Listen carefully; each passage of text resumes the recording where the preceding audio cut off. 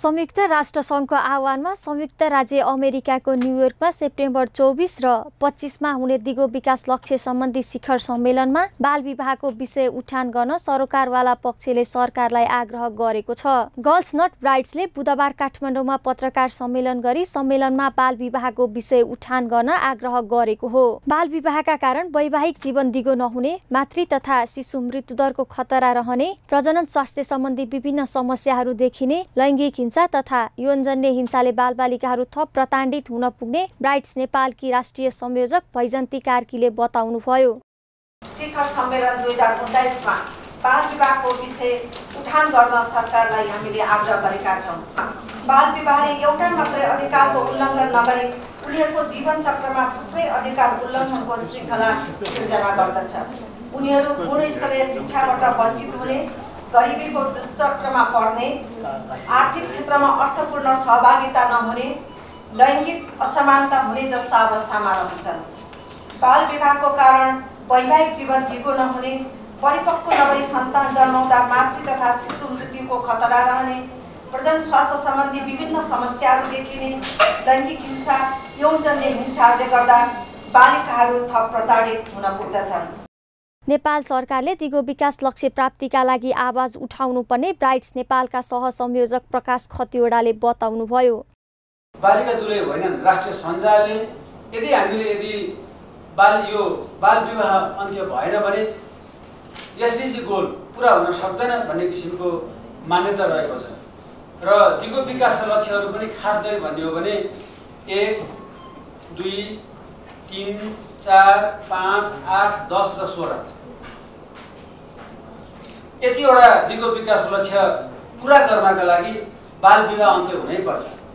यदि बाल विवाह अन्त्य भएन भने अहिले मैले जुन किसिमको यहाँ दिगो विकासको लक्ष्यको नम्बर भने ती नम्बरहरू पुरा हुन सक्दैन। दिगो विकासमा सत्र लक्ष्यहरू छन्। ती लक्ष्यहरूमध्ये आठवटा लक्ष्य त यदि बाल विवाह भयो भने पुरा गर्नै गाह्रो हुन्छ। भनेपछि हामीले त्यो कारणले गर्दाखेरि बाल विवाह विरुद्धका कुराहरू नेपाल सरकारले आवाज उठाउनुपर्छ भन्ने किसिमको कुराहरू गरेका छौँ न्युयोर्कमा एउटा दिगो विकास लक्ष्य सम्बन्धी शिखर सम्मेलन हुँदैछ। त्यो शिखर सम्मेलनमा भाग लिन जान हुने नेपालका उच्च पदस्थ व्यक्तित्वहरू मन्त्रीज्यूहरूलाई चाहिँ त्यहाँ बाल विवाह अन्त्य सम्बन्धी गर्ने जुन लक्ष्य छ पाँच पोइन्ट तिन त्यसलाई प्राथमिकता दिएर कुरा उठान गरिदिनु हुनको लागि हाम्रो आग्रह हो। बालिका दुलै होइन राष्ट्र सञ्जालको विशेष जोड के हो?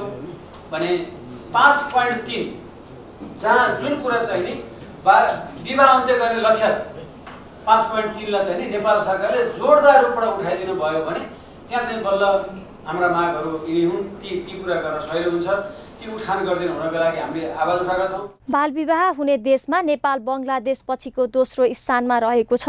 नेपाल जनसाङ्ख्यिकी तथा स्वास्थ्य सर्वेक्षण दुई हजार सोह्र अनुसार अठार वर्ष नपुग्दै विवाह हुनेको संख्या उन्चालिस दशमलव पाँच प्रतिशत रहेको छ। सन् दुई हजार पन्ध्र सेप्टेम्बर पच्चिसमा दिगो विकासका लागि संयुक्त राष्ट्र सङ्घको साधारण सभाले एजेन्डा दुई हजार तिस पारित गरेको थियो जसमा दिगो विकासका सत्रवटा लक्ष्य तय गरिएको थियो। दिगो विकासको लक्ष्यमा पुग्नका लागि भने बाल विवाहले असर गर्ने विज्ञहरू बताउँछन्। कम उमेरमा विवाह गर्दा फिस्टुला जस्ता अन्य रोगको जोखिम उच्च रहेको छ। विश्व स्वास्थ्य संगठनका अनुसार चौबिस पच्चिस वर्षमा बच्चा जन्माउने भन्दा सत्र अठार वर्षमा बच्चा जन्माउनेको सुत्केरी समयमा मृत्यु पाँच गुणा बढी रहेको र पच्चिस सय ग्राम भन्दा कम तौल भएको बच्चा जन्मिने तथ्याङ्क छ। बाह्र सय जनामा गरिएको अनुसन्धानमा एक तिहाईले आफै विवाह गर्ने गरेको पाइएको र यो क्रम बढ्दो छ। गर्ल्स नट ब्राइड्स नेपालले सन् दुई हजार चौधमा गरेको सर्वेक्षणमा बाल विवाहको दर पैँसठी प्रतिशत रहेको छ। नेपाल सरकारले बिस वर्ष नपुगी विवाह गर्नेलाई दण्ड सजाय तोकेको छ जसमा पचहत्तर हजार जरिवाना र तीन वर्ष कैद सजाय हुने उल्लेख छ। स्वास्थ्य र समृद्धिका लागि हेल्थ टेलिभिजन।